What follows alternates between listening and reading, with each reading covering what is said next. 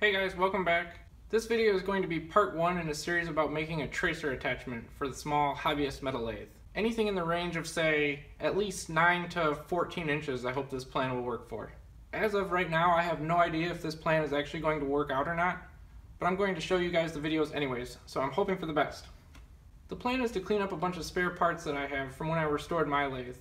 I needed four or five things for my restoration, specifically the Logan badge on the front of the lathe, and then four or five gears that were broken and missing teeth on my lathe. I found an identical model for sale on Craigslist that was really rusted up and beat up, broken, missing a lot of parts, but really cheap for the price. And magically it had everything that I needed to replace on my lathe. Basically what you see here is everything you need for a complete carriage assembly. The saddle, the apron, cross slide, compound, hand wheel, various gears, cover plates.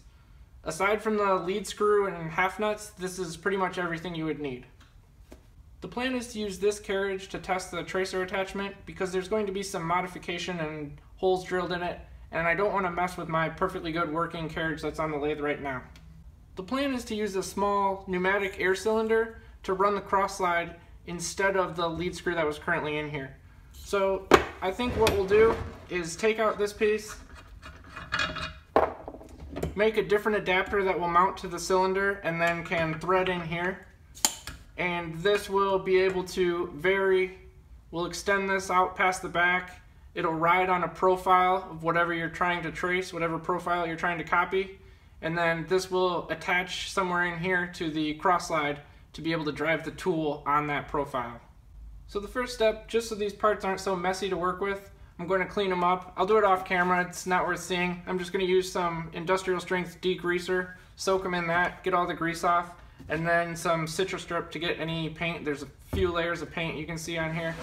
That's all flaking and chipping off. So just to get it cleaned up and easier to work with. Then we'll come back and plan out and start building some of the parts that we need.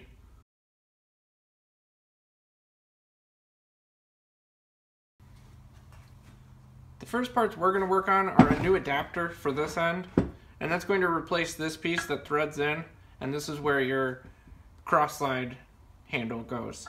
We're going to replace this, turn a piece out of aluminum that's going to thread in here and have a flange on it so that we can put two screws back this direction and mount our cylinder. We're also going to take a scrap of cold rolled quarter inch by I think inch and a half and this is going to I'll probably just clean up the ends and it's going to go back here with a hole. I'll probably drill it out, put a piece of brass in, and then drill that out with uh, the size of the extension that's going to go through here, just as a guide and support for the lengthened rod that's going to go through that end. So let me get this cleaned up on the mill, and uh, then we'll go over to the lathe and start turning this piece. This is just a chunk of 2 inch diameter aluminum and the first thing I'm going to do is face off this side and then turn the diameter down to match this, which is about 1 and 11 sixteenths, I think. So we're going to face this and turn the diameter to make to match this uh, cylinder.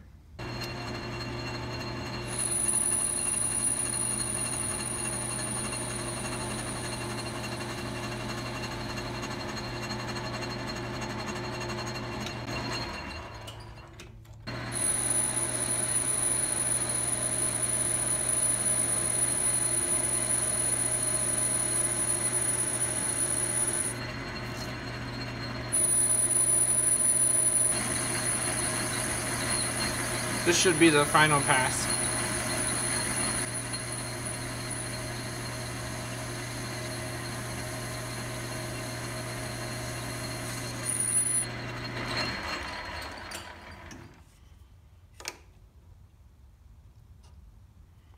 While it's facing this way in the lathe, I'm going to drill a clearance hole, which I think is going to be 3 eighths. This is a 5 16 shaft, and I think I'm just going to drill a 3 eighths clearance hole for that and also turn a register in the face of here to seat this.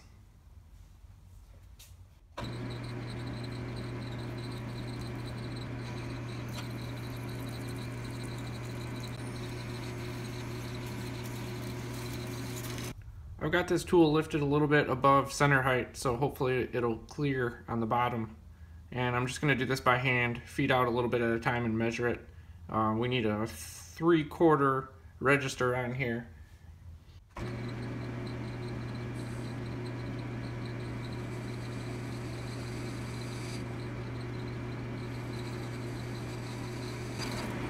There's actually plenty of clearance on the bottom, so I'm gonna lower it down a little bit.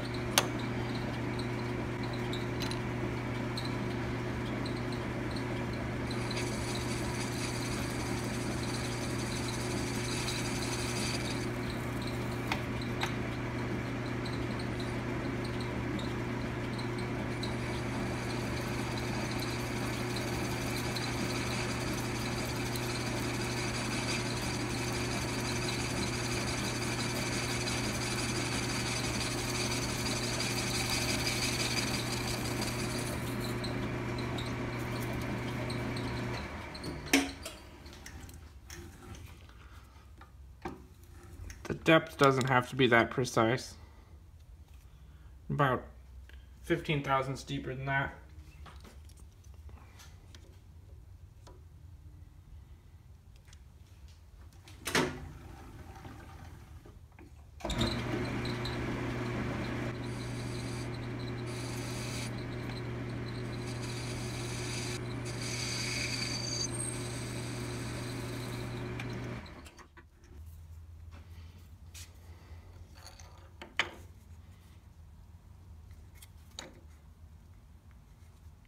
All right. Perfect. I'm just gonna rough this down off camera. Like I said, we're taking it down to 7 eighths, which is what the threads are going into the saddle of the lathe. And I don't really have any specification over how wide to leave this shoulder, what's gonna be left up here. Um, it'll probably be somewhere between 3 eighths and half inch because it'll get a countersunk hole for like socket head cap screws that are going to thread into here. So let me take that down off camera and then we'll, we'll come back for the threading part. The last thing I'm going to do before I start threading is put a small thread relief in here. Uh, I just have a piece of high-speed steel ground with a little radius on it. And we're just going to replicate something like this so we have an area to run out and stop our thread in.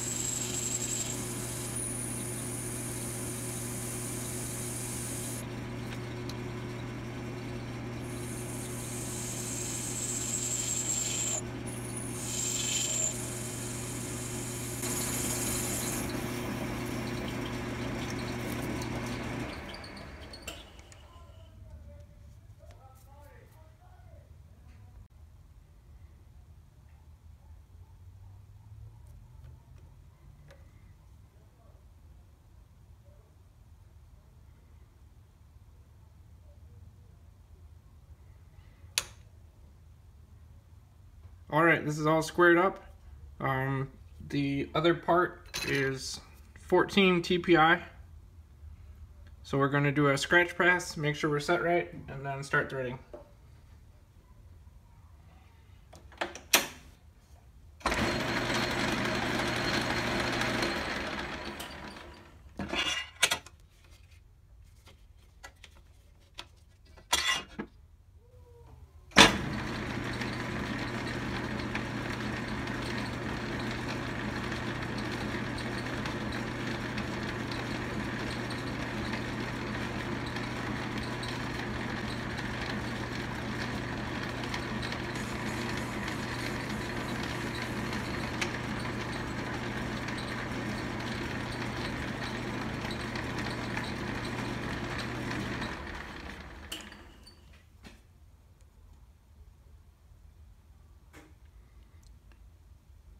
Looks good.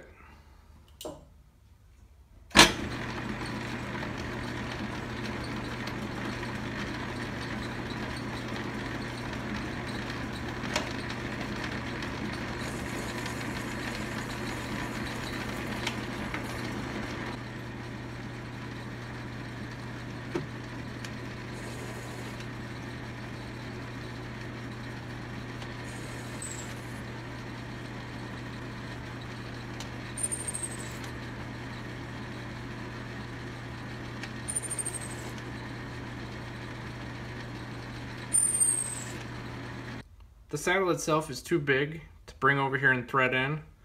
So I'm just going to go with the number that the machinist handbook says for a 14 TPI thread depth and we'll uh, take it out and try it after that. So we should be on just one more spring pass here and then we'll pull it out and try it.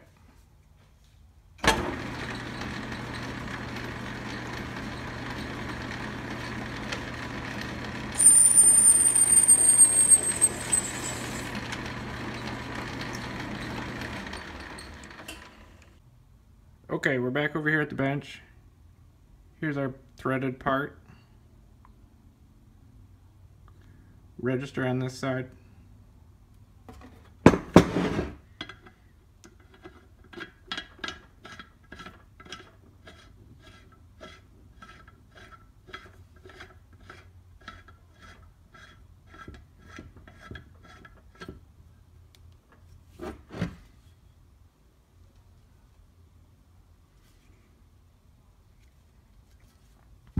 Fits in there pretty well. And then this side will register the cylinder.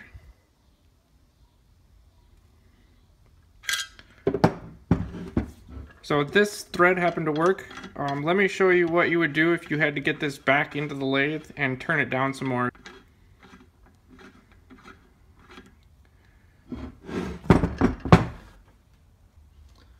Okay, I've got it back over in the lathe now. Um, the camera in a little different position, so hopefully you can see some more of the controls of what I'm doing.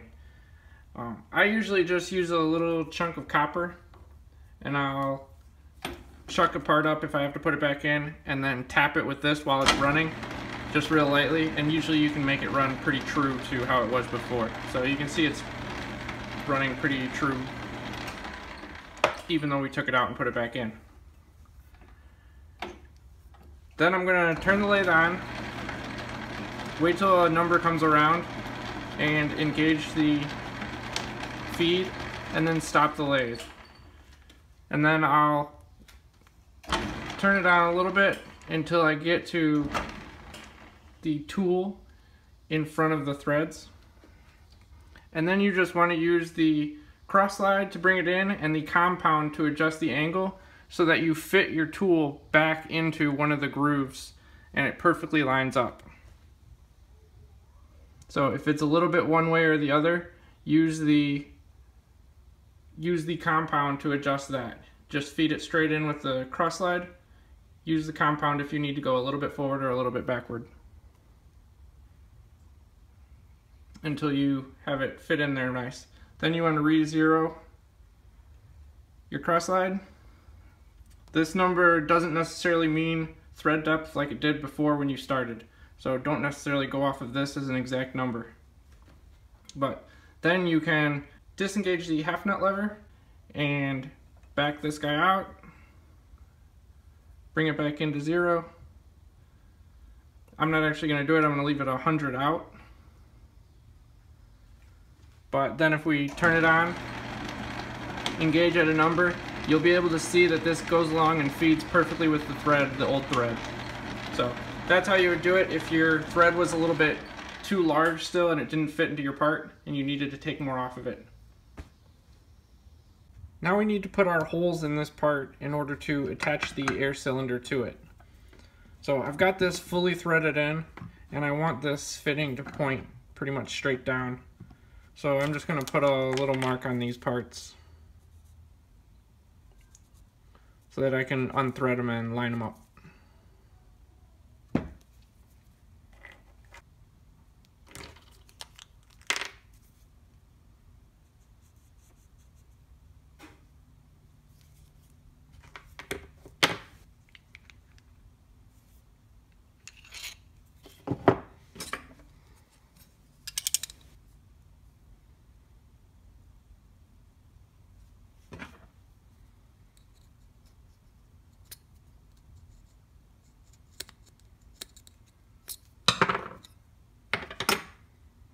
This adapter fits almost perfectly flush with this, the edge of this square on both sides. So I'm just going to measure in from here and approximate the center of this bolt circle. Somewhere like that.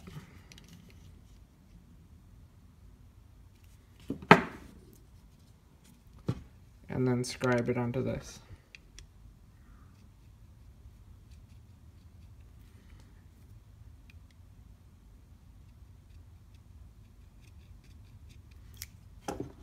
These are just going to be clearance holes for 1032 bolts. So I'm, I'm going to drill them over a little bit because the fit is not all that precise. I drilled these two holes over at the drill press because it was just as easy to do it over there. And now I'm just going to use the same drill bit, uh, 13 64ths, and line it up here on the mill so it goes straight through the hole, and then we'll swap it out for a 3 8 end mill and countersink this so that we can use a 1032 socket head cap screw.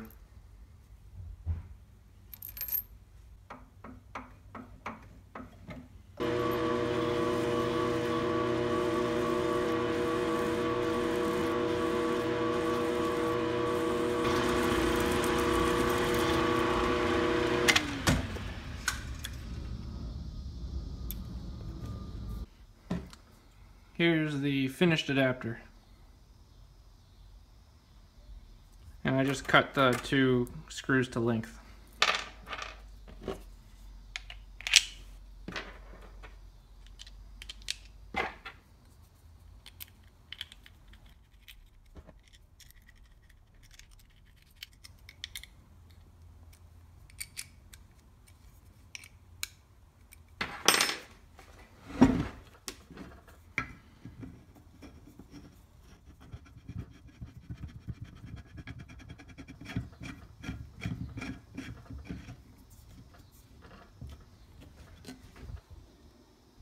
Think I'm going to end part one right here before this video gets too long. But be sure and come back and check out the next couple videos where we finish up the tracer attachment and finally test it out.